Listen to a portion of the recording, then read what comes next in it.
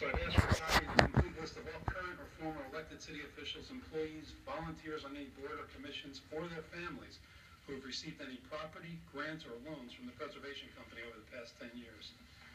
Um, that's gonna be requested by the city manager or the city attorney in a letter to the Preservation Company, and hopefully they'll respond.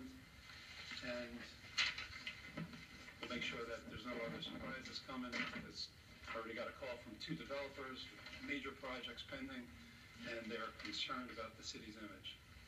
So Oh my god.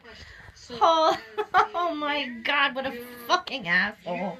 You're able to answer these things? Oh my. God. We're supposed to answer these you can ask for anything you want, that's what I'm asking for. and I'm providing Rid of the you a copy city's of what I'm asking image. for.